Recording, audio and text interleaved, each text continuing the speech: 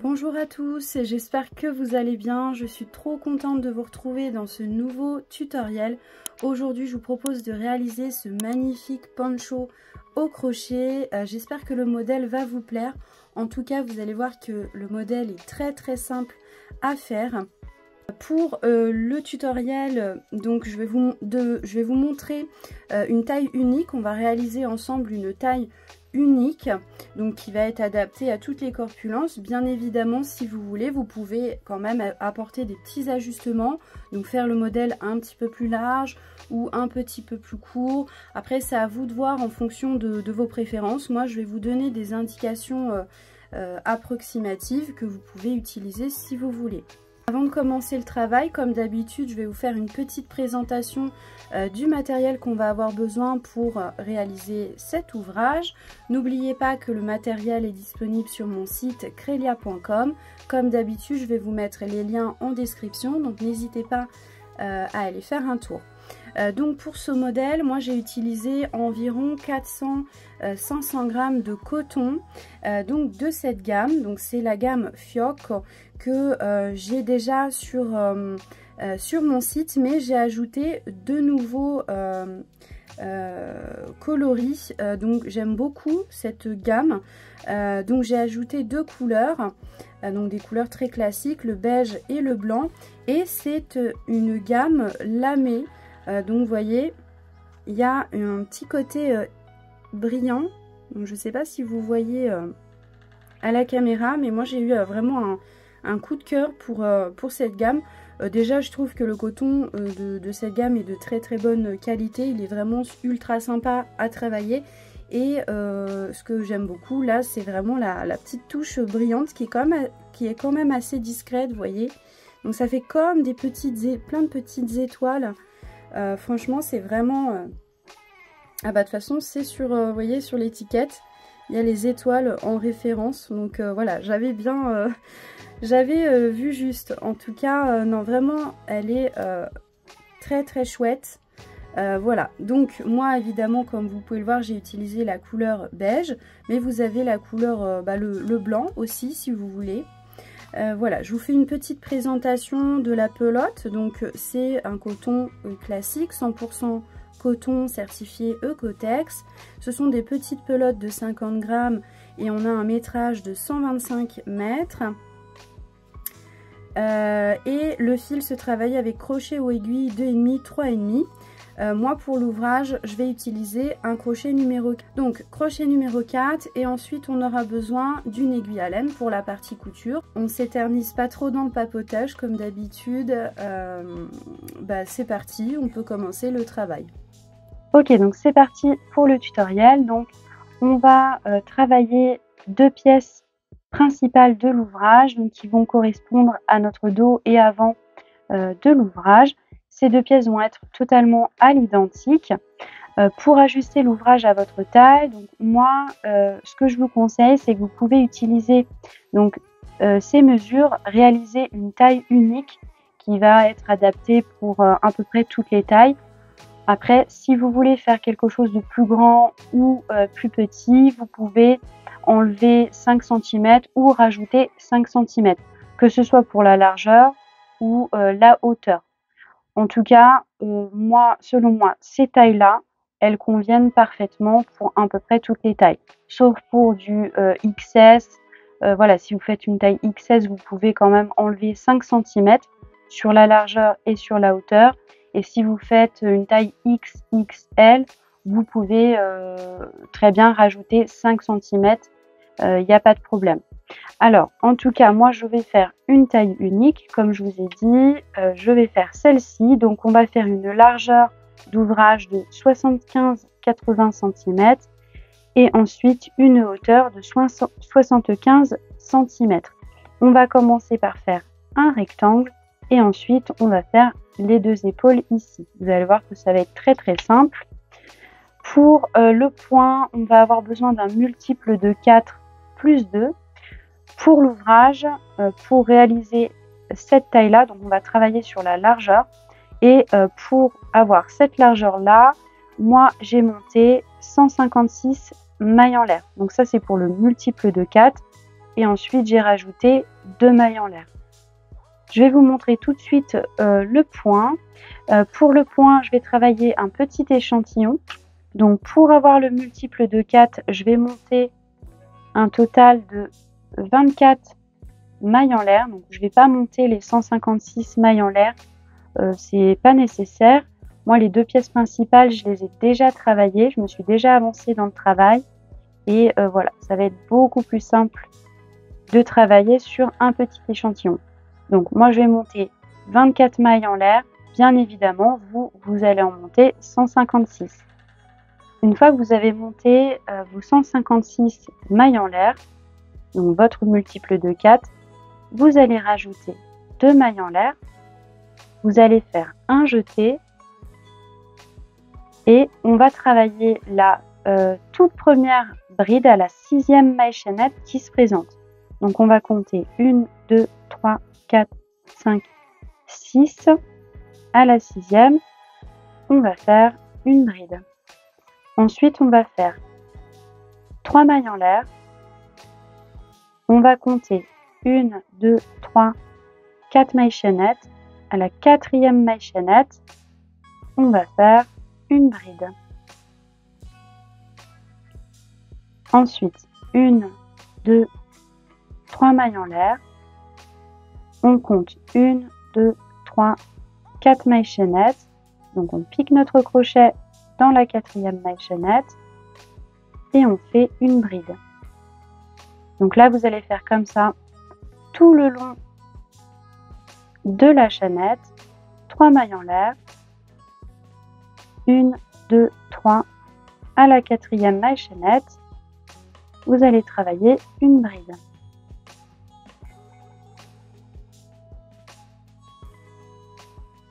On termine le rang par une bride et à la fin de votre chaînette, vous devez avoir 4 mailles chaînettes.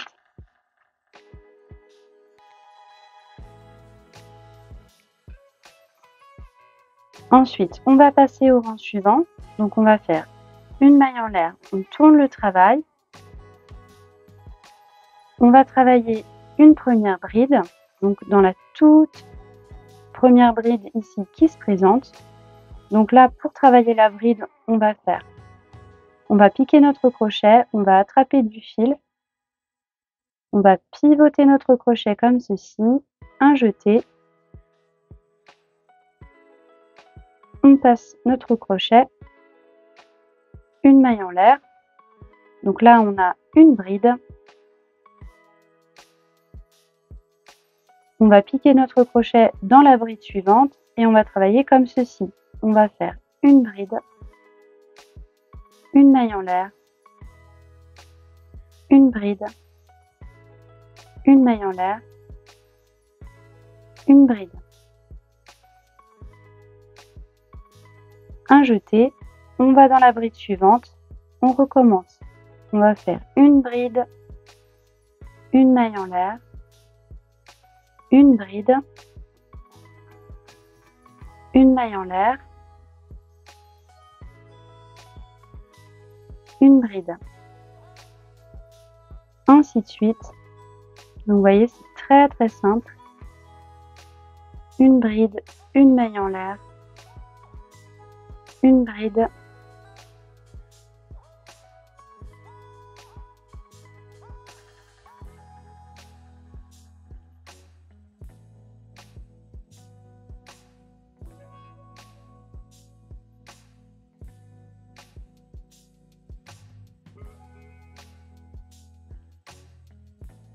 À la fin du rang, on va faire une maille en l'air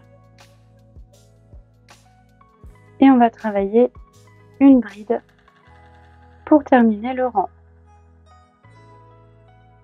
Donc là, on a les deux rangs principaux de l'ouvrage. Donc à chaque fois, on va répéter ces deux rangs et on va les alterner. Donc là, on va passer au rang suivant. On va faire une maille en l'air. On tourne le travail. On va commencer le rang avec une bride en haut de la bride, la toute première bride qui se présente.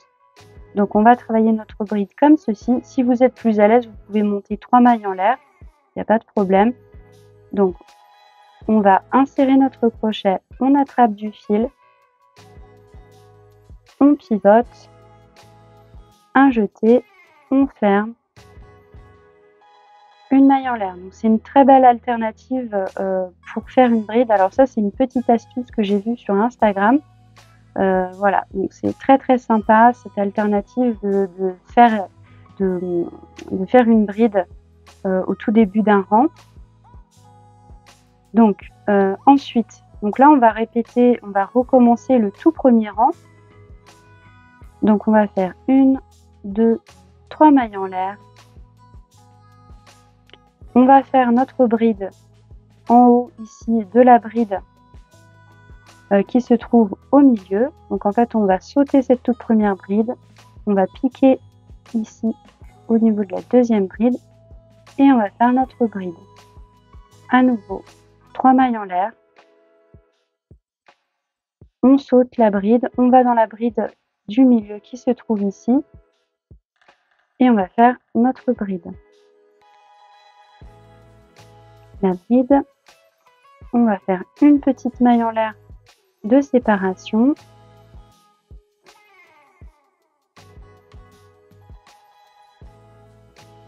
Et on va terminer le rang par une bride.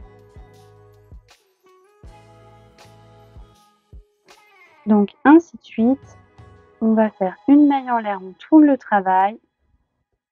Donc là maintenant, on va refaire ce deuxième rang. Donc on va travailler une bride en haut de la toute première bride qui se présente. Donc on débute le rang par une bride, on le termine par une bride. On va dans la bride suivante, on va faire une bride, une maille en l'air, une bride, une maille en l'air, une bride. Ainsi de suite, tout le long du rang et tout le long de l'ouvrage.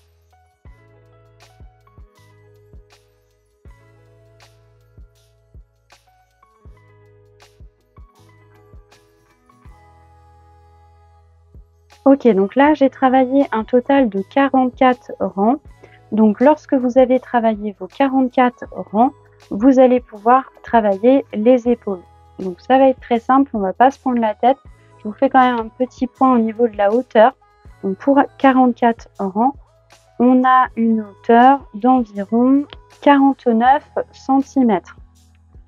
Donc maintenant, on va travailler les épaules. Alors, pour travailler les épaules, ça va être très simple. On va diviser notre pièce par deux et on va mettre un repère. Si vous avez travaillé le même nombre de mailles que moi, normalement, vous devez avoir le même nombre de points ici. Donc, quand je dis les points, vous voyez, c'est les petits, euh, euh, les groupes de, brides ici. Donc, moi, j'en ai compté, euh, je les ai comptés et j'en ai 38. Donc, j'ai divisé les, le nombre de points par deux et donc j'en ai compté 19. Euh, donc en fait c'est tout simple. J'ai compté 1, 2, 3, 4, etc. Donc sur ce côté-là j'ai compté 19 points, j'ai mis un repère. Ensuite euh, j'ai compté également de l'autre côté si j'avais bien, donc là ce sera bien séparé, j'ai compté si j'avais bien les, 19, les 19 points. Donc on va travailler, donc vous l'aurez compris, tout simplement, on va travailler euh, ces deux côtés ici séparément. Donc on va travailler tous ces points-là jusqu'au repère et ensuite on travaillera euh, séparément de l'autre côté et on va travailler tous ces points-là jusqu'ici. Euh, donc j'espère que c'est clair. Alors ici j'ai euh, mon fil, donc la continuité de mon fil, donc je ne l'ai pas coupé. Donc au lieu de commencer mon travail ici, je vais le reprendre ici. Et je vais travailler mon point comme d'habitude.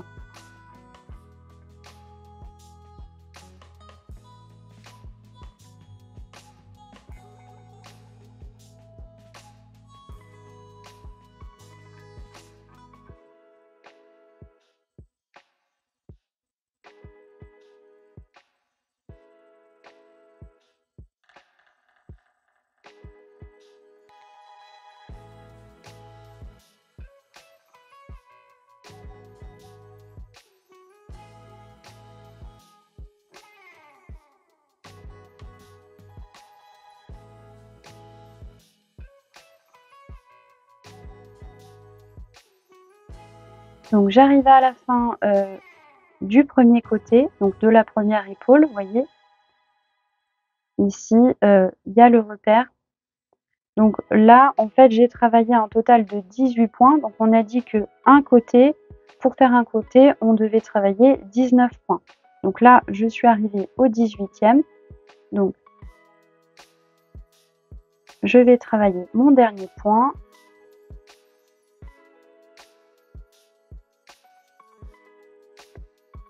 Terminant donc par une bride. Et je passe tout de suite au rang suivant. Une maille en l'air. Je tourne le travail. Et je fais mes allers-retours comme d'habitude. Donc je commence mon rang par une bride. Donc là, on est sur le rang des groupes de brides.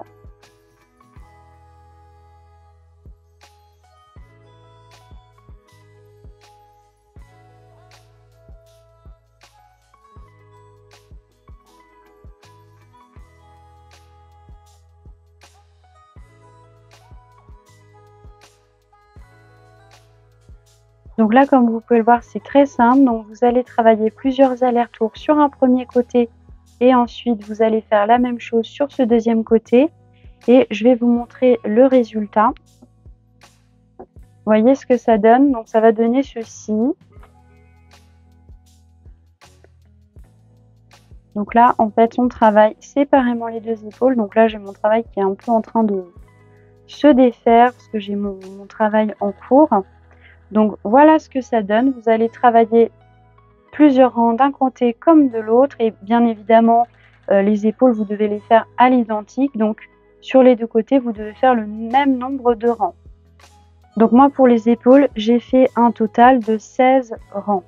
Donc vous allez faire également euh, les 16 rangs et ensuite lorsqu'on va mesurer toute la hauteur de la pièce, vous voyez toute cette hauteur là, donc on a la longueur de l'ouvrage et je vais vous dire exactement combien ça fait du coup. Donc je mesure à partir du haut ici de l'épaule. Donc on va avoir, oui c'est ça, donc une hauteur de 75 cm. Vous si vous voulez faire un, ouvrage un petit peu plus long, il euh, n'y a pas de souci. Après, vous faites euh, en fonction de vos préférences, bien évidemment. Ok, donc une fois qu'on a terminé les deux pièces principales, vous voyez, donc qui sont travaillées à l'identique, on va les superposer donc les unes contre les autres, vous voyez, comme ceci, et on va faire une petite couture pour faire l'assemblage. Donc on va faire une, une couture sur ce premier côté et une deuxième couture sur ce deuxième côté. Donc pour la couture, moi, comme d'habitude, je vais prendre mon aiguille à laine. Je vais couper un morceau de fil.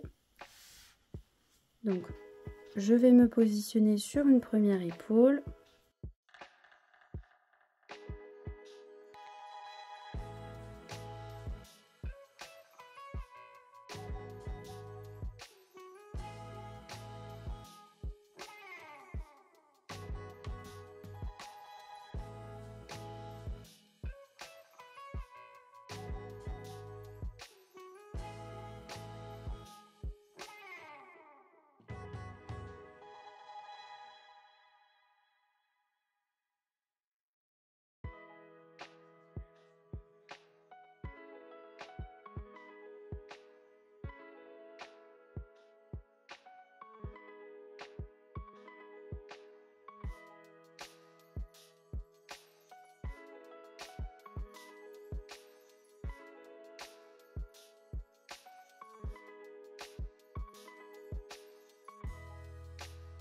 Ok, donc une fois qu'on a terminé euh, la couture sur les épaules, hop, on va faire la dernière petite étape.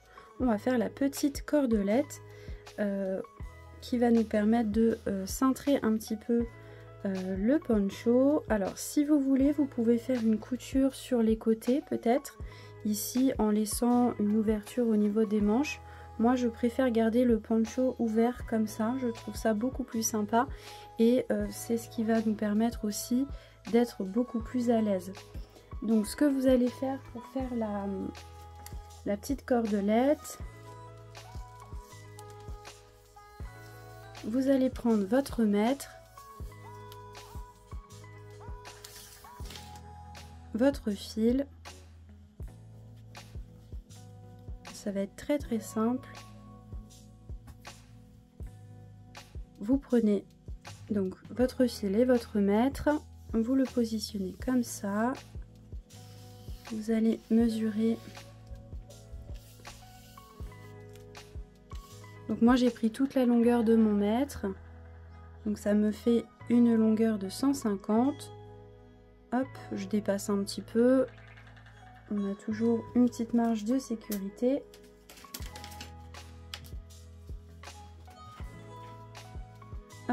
Ensuite vous allez faire un aller-retour.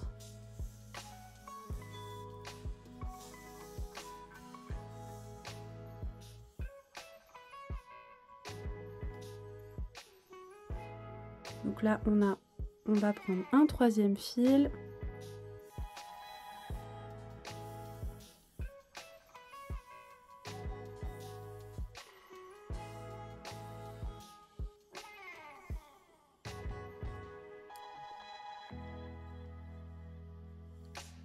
et un quatrième. Donc là, moi j'ai fait une épaisseur de 4 fils. Vous pouvez faire euh, donc euh, bah, autant de fils que vous voulez. Moi je trouve que 4 fils c'est suffisant. Donc là, on va couper.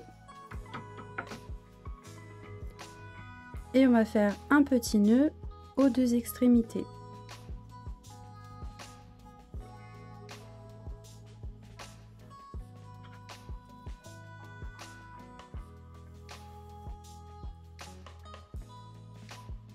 Donc on a un premier nœud, on va de l'autre côté et on fait notre deuxième nœud.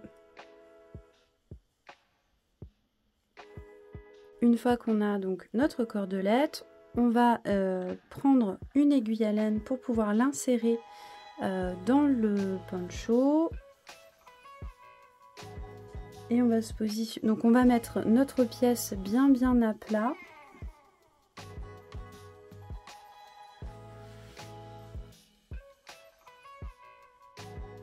On va faire des allers-retours comme ceci. Donc moi je me suis mis un petit peu euh, au hasard au milieu euh, de la pièce. Vous voyez, hop.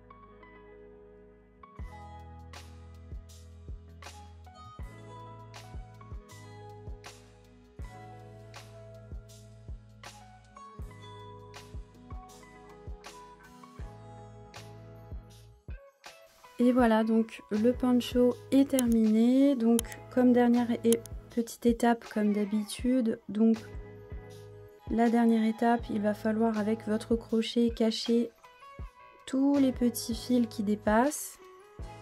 Vous voyez tous les fils volants qu'il y a ici, donc il va falloir le cacher, les cacher dans le travail. Donc lorsque vous avez votre poncho à l'endroit, avec votre crochet. Vous cachez les fils volants comme ceci.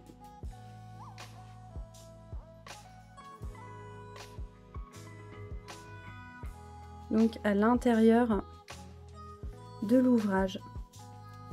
Voilà, donc le tutoriel est terminé.